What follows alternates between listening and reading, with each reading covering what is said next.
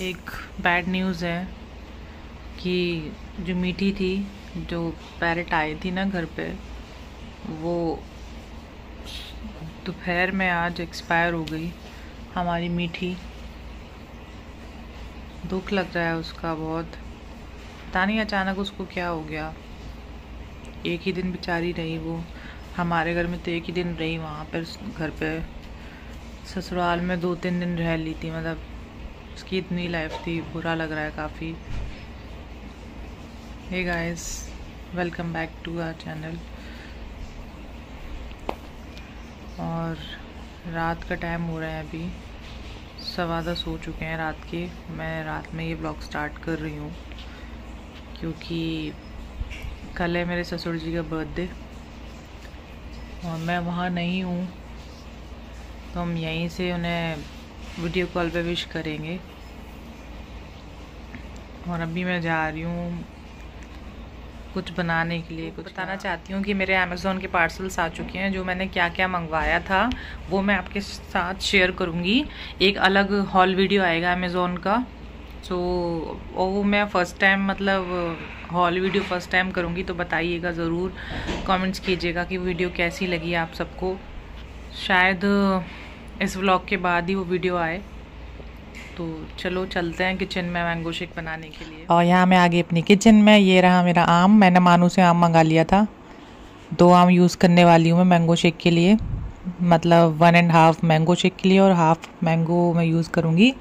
छोटे छोटे उसके पीसेस कर लूँगी और शेक में गार्निशिंग के लिए वो अच्छा लगता है थोड़ा। और जो छोटे छोटे उसके चंक्स आते हैं ना, वो भी अच्छे लगते हैं टेस्टी टेस्टी लगते हैं। यहाँ मैं क्या ढूंढ रही हूँ? कुछ ढूंढ रही थी। हाँ मैंने, मेरा चाकू नीचे गिर गया था। मैं वो उठा रही हूँ और अपने मैंगो को वॉश कर रही हूँ। ये हो रहे मेरे मैंगो वॉश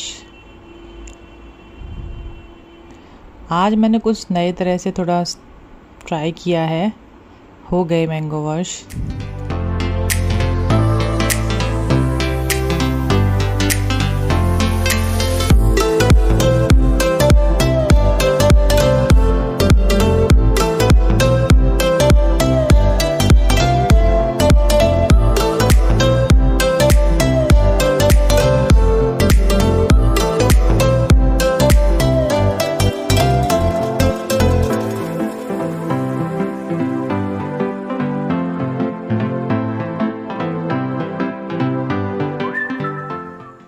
मेरे मैंगो कट करके मैंने जार में डाल दिए हैं।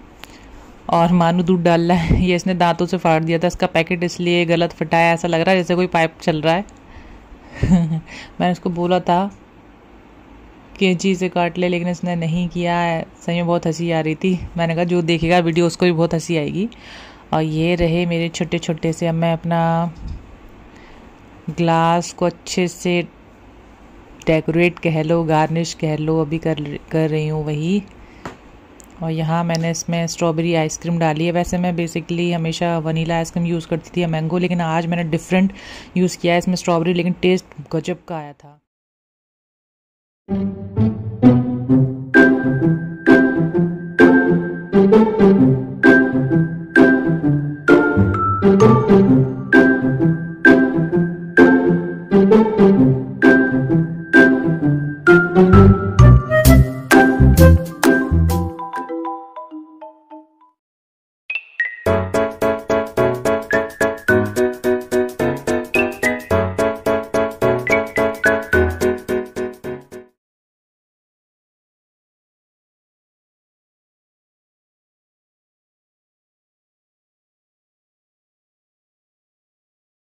The next day.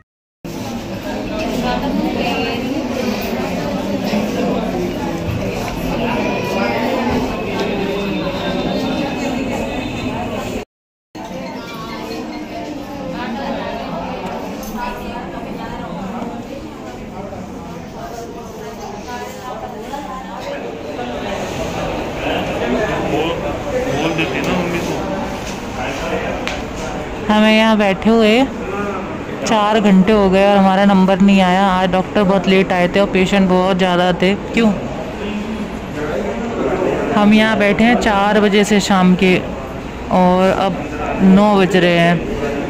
अभी भी कोई अता पता नहीं है कि कितने बजे नंबर आएगा। आराम आराम से डॉक्टर देख रहे हैं और हमारा नंबर है 83 अभी कितना चल रहा है? अभी चल रहा है 57 नंबर चल रहा है शायद।